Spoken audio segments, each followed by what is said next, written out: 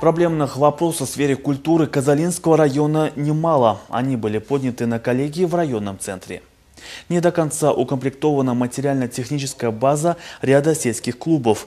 Также в некоторых аулах здания библиотек в аварийном состоянии. Не хватает сценических костюмов. Есть клубы, где нет компьютера и интернета. И за это строго спросили сельских хакимов. Требуют реконструкции памятники истории и культуры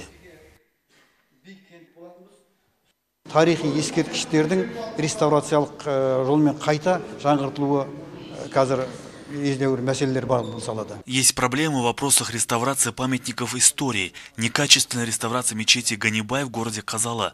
Также в результате подъема подпочвенных вод ряд мавзолеев и других памятников истории нуждаются в реставрации.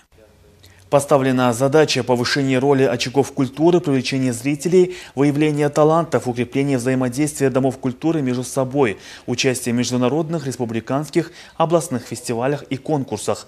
В рамках знаменательных юбилеев года 1150-летия Аль-Фараби, 750-летию Золотой Орды, 175-летию Абая Кунанбаева, 75-летию Победы в районе планируется провести Айтыс молодых акынов, фестиваль исполнителей Киса Дастанов, областную конференцию народных коллективов.